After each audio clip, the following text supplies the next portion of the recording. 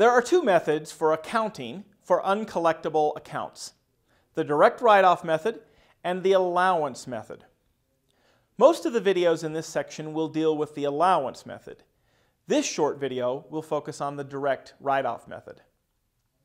The direct write-off method is primarily used by small, non-public companies that really don't know how to do accounting, or companies that have an immaterial amount of accounts receivable.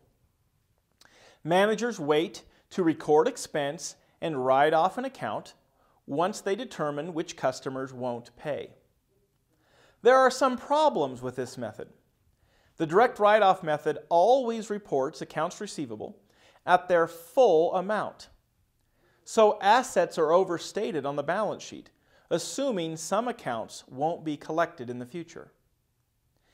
It does not match bad debt expense against revenues very well. Many times, accounts aren't deemed to be uncollectible until well after the sale has been recorded. Therefore, expense is not recorded in the same period as the revenue.